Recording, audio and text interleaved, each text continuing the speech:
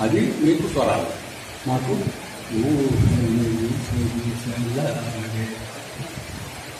మరి ఇలాగ పలికించాలి అంటే లక్ష్మీ శ్రీనివాస్కి సరైన టాలెంట్ ఉండాలి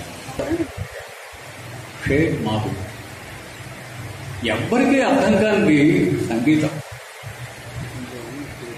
మమ్మల్ని అందరినీ సరస్వతి పుత్రులు అంటారు సరస్వతి పలికించారండి అంటారు ఎక్కడుందా సరస్వతి? పనస చెట్టులో ఉందా? పనస చెట్టు పనస కాయ తింటే అయిపోతుంది. పనస తొమ్మిది తినేస్తే అయిపోతుంది. కానీ చచ్చిపోయిన చెట్టు బతుకున్న చెట్టు కాదు పూర్తిగా ఎండిపోయింది ఆ చెట్టు. అలాంటి చెట్టు తీసుకోండి దాన్ని వీణగా మలిచి వీణగా మలవడం అంటే క్షేపప్పుడే కదా. లోపల గుడాను కారు చేయాలి. అంటే మన కొబ్బరి చెప్ప ఎలా? లోపల అంతా ఈ ఈ షేప్ ఇలా ఐదు అడుగుల నాలుగు అంగుళాలు పడుతుంది. ఇరవై నాలుగు మెట్లు ఏడు తీగలిపోతుంది ఏడు తిరగాలి ఆ వీణ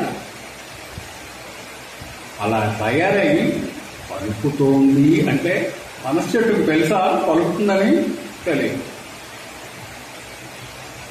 మా విద్వాంసులు మాత్రం మేము పలికించేయగలమా? చేతిలో వీణ లేకపోతే ఇలాగా నా మానస వీణ అని చెప్పి ఇలా వాయించేయగలమా మా చేతికి మాత్రం ఒక చక్కటి వీణ ఇవ్వాలంటే అలాంటి శిల్పి ఉండాలి. ఏ విద్య కూడాను ఇలాగ అమ్ముకున్న వెంటనే ఎవరికి విద్య రాదు.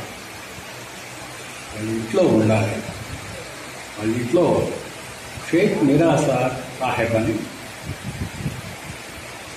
న్యూజివెల్లో చక్కటి కళాకారుడు మాకు యాభై ఐదు సంవత్సరాల పైన దగ్గర దగ్గర అరవై సంవత్సరాల నుంచి మా నాన్నగారికి నాకు మా అందరికీ కూడాను వీణలు మా చేతికి అందించేవారు.